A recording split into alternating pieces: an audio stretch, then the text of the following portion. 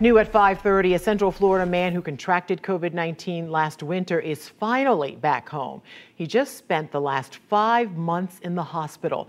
Tonight, he is urging others to take this virus seriously. News 6 investigator Mike DeForest joins us live from the newsroom now. And Mike, this COVID patient has been going through physical therapy. Uh, Ginger, he still has some trouble walking, but says it's getting better. Lloyd Gerald did have a pre existing medical condition, but he says he never expected COVID 19 to wipe out nearly half a year of his life.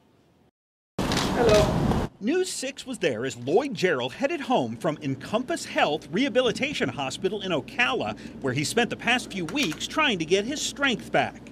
My lungs felt like they were on fire. I honestly wanted just to give up because it, it, the pain was so bad. In February, doctors diagnosed the 38 year old with COVID 19 and pneumonia. After the first two days, uh, I don't remember anything after that until April when they actually fully woke me up. Gerald says he spent more than three months on a life support machine after suffering heart, kidney, and gallbladder failure. When I woke up, I couldn't really move a lot, couldn't rotate, couldn't do anything on my own. My hands shook really bad. Gerald, who says he previously suffered from nerve damage, was barely able to walk when he finally left the intensive care unit. And then when I got here to do physical therapy, uh, the first day I can only walk five feet.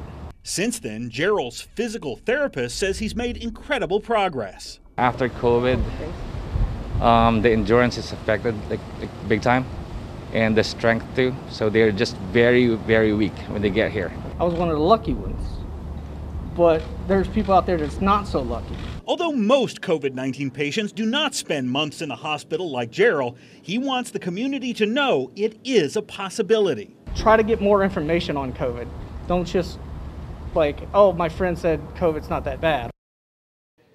Tonight, Gerald recommends people get the COVID 19 vaccine, and he himself may eventually get it too once he's sure his immune system is back up and running. Ginger. Unbelievable. Mike, thank you.